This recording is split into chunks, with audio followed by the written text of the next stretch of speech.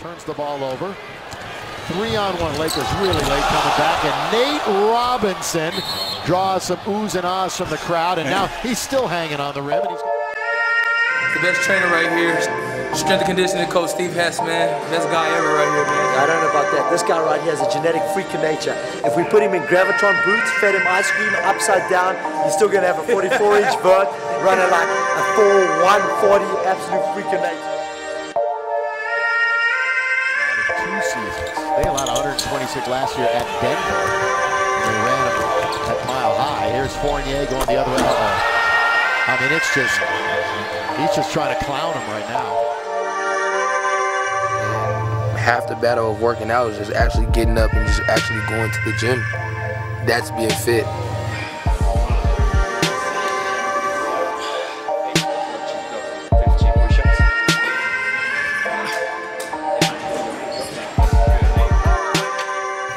Coming to the gym when nobody's looking, it's just me, the ball and the hoop.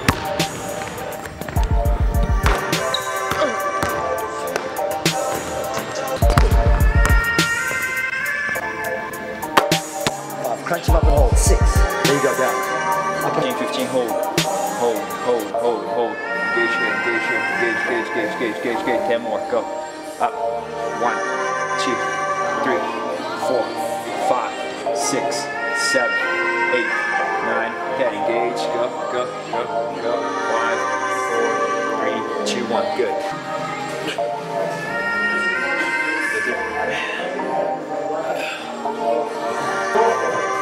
It's for men's fitness right here. For all you guys that want to be fit. That's what Nate Robinson's all about. see these see these guns? What do you think, man? You gotta check these into customs.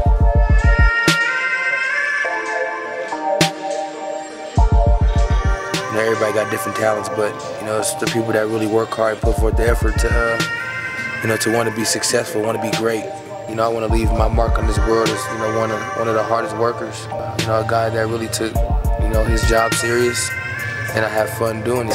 Pepsi Max. I had a gallery 20 years. All right, next. Got Uncle Lights right here. So I'm gonna look like when I get old. Look at that. Boy handsome. See this? Nate Robinson, 5'9", 182, 4% body fat. Well, let me just call my guy.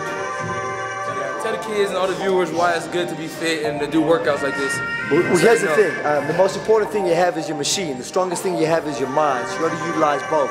But if your body's not working correctly at, at an ultimate ultimate performance, um, your health gets to dissipate. So even if you don't have the ability to be a world-class NBA player, that's cool. But the progression to great health keeps you healthy. That's the goal. So the side effect of hard work is health. It's, it's a win-win. I work hard because I have to. It's just in my DNA. I mean, it's it's a gift, man. You know, God bless you with so many abilities, you know, to even be on this earth, you know, let alone have a, a great basketball talent.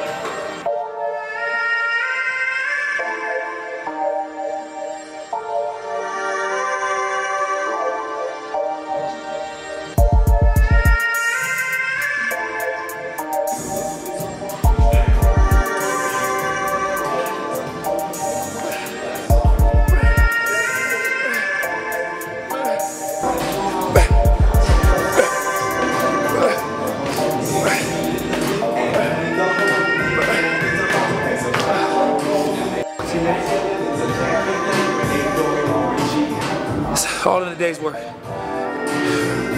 Hard workout. Men's fitness. Steve Hess, the best strength conditioning coach in the league. It's what we do every other day, man. We switch our workouts out depending on what needs to be done. get your body right. Sometimes run the treadmill, you see they doing stretching with Randy Foye on the table. Then we get on the court, do our thing. It's always good to stay fit, kids, believe it. It's great to be fit. Trust me, I work hard at this. You can do it too. Always watch State of Nate.